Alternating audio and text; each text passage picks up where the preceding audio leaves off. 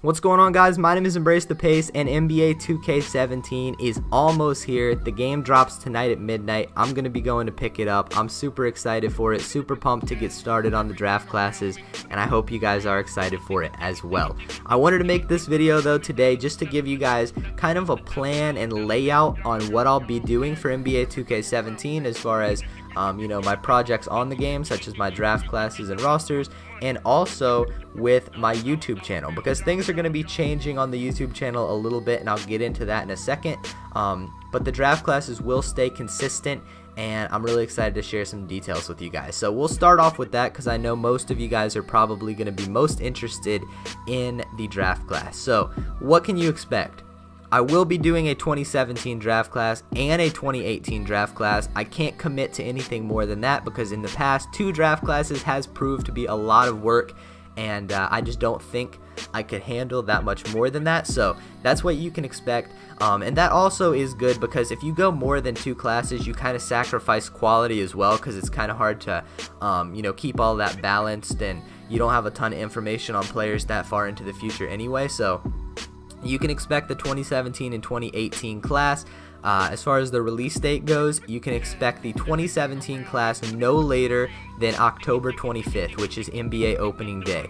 That's what I did last year on NBA 2K16, and it was actually kind of tough to finish it by that deadline. A lot of people don't really understand how long it actually takes um, to make these draft classes. I timed it last year. It was taking me like 40 minutes, 45 minutes for one player and to get one draft class done you got to do 60 players. So you guys can imagine that is a ton of time to make these draft classes. Um, but I've tried to do my best to kind of streamline the process and prepare as much as I can.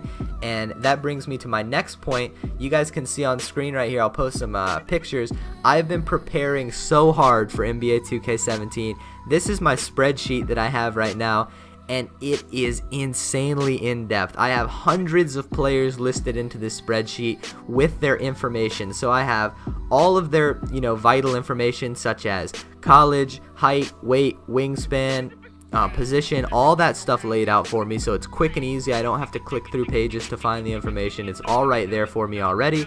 And then I also have pictures, so front facing views, profile views, full body views, accessories, um, highlight tapes, everything, all of that linked into my spreadsheet already. So when I start making my draft class, I will be extremely prepared and it should make the process of creating one guy um, a lot faster. So I don't know if that will translate into me being able to finish my draft class sooner than expected. If I do that, I would be willing to release it earlier, um, but I can't commit to that right now. So expect October 25th for the 2017 class. If I do decide to release it earlier, if I finish, I'll let you guys know about that on Twitter.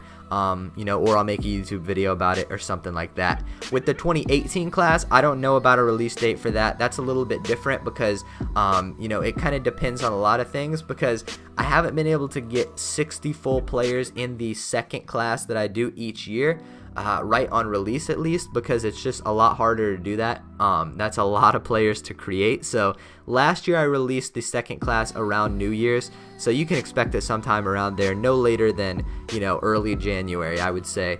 Um, but I'll let you guys know a more concrete release date when I decide on one. Um, so that's it for the draft classes right there. I'm trying to think if I'm forgetting anything. Uh, I think that's probably just about all you guys need to know. Uh, oh, one more thing I want to ask you guys to let me know in the comment section.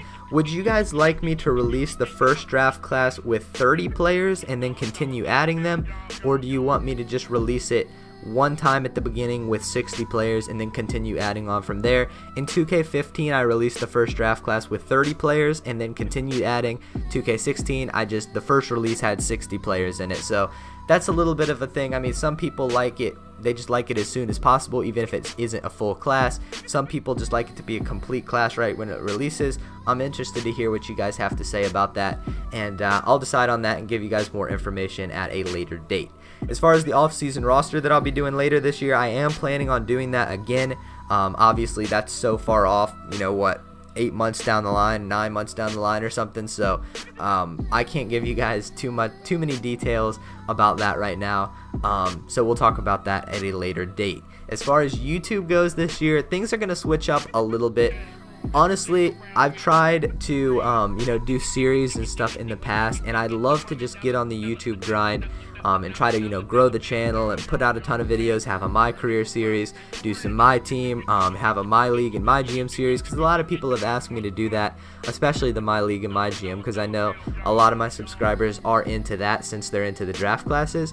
Uh, but to be 100% honest, I just can't do it. If you guys don't know, I am in college, so I just don't have the time um, to commit to doing YouTube as much as I want. I don't think that would be a great decision. Obviously, college is super, super important, so that's taking number one priority right now, and I don't think it would be in my best long term interest to put too much focus on YouTube. Um, so, this year on YouTube, I really want to just focus on getting a lot of player creation tutorials out. I'll also still have update videos and stuff, but don't expect me to have, you know, um, actual gameplay type videos. That just takes a really, really long time to edit them and produce them and render them and upload them and actually sit down and record the gameplay. Um, surprisingly, I just I don't really have that much time to actually play the game. That's why I've tried to prepare so much for 2K17 so I could get all this stuff in my spreadsheet to try to make the process of making the draft classes quicker because uh, I really haven't had that much time to just sit down and play. Like you guys are seeing some prelude gameplay in the background. I've actually only played two games of the prelude because I've just been busy um, with school and also preparing for 2K17 and stuff like that. So that's what you can expect from me on YouTube or expect from me on YouTube this coming year. Lots of tutorials. I the tutorials don't take me a ton of time to do, so I actually want to try to get a tutorial out for every single player that I create on NBA 2K17. I think that'll be a lot of fun, and I think that's a good goal to set for myself, especially since I won't be focusing on too much more on YouTube. Um, so I was looking at the playlist for 2K15 and I had almost 100 creation tutorials and then in 2K16 I had about half that many. So I was really slacking a lot on the tutorials this past year. I don't want that to be the case in NBA 2K17 and I'm going to try to get a ton of them out for you guys uh, because I know you guys do enjoy them for the most part and I know some people might think you know the tutorials they won't help them a ton but they do help a lot of people especially people on Xbox One um, that can't download my draft class or people that want to use some of these prospects for their my career or anything like that um, so I do want to commit some time to putting out those creation tutorials.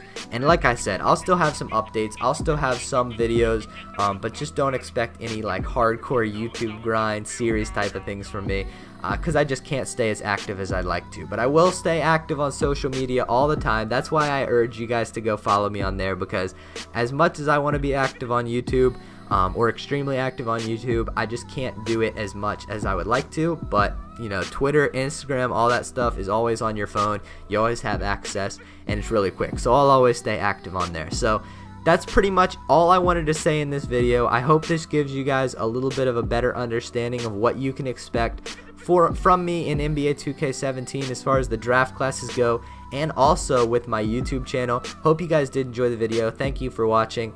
Thank you guys so much for all the support on NBA 2K16. It was so much fun. I had a blast on 2K16 making the draft classes. It was an insane amount of, uh, it was a very successful project this year. Um, I haven't checked the final numbers as 2K17 comes out tonight, but I think the 2016 draft class on 2K16 had over 5 million downloads, or right around there the 2017 class had, um, you know, over a million, and the offseason roster just hit like a million, probably right around this time. So I, I really appreciate it a lot. I'm super excited to get started on 2K17 and excited to put out some more draft classes and have another great year. Thank you for watching. Hope you guys enjoyed. Talk to you guys later.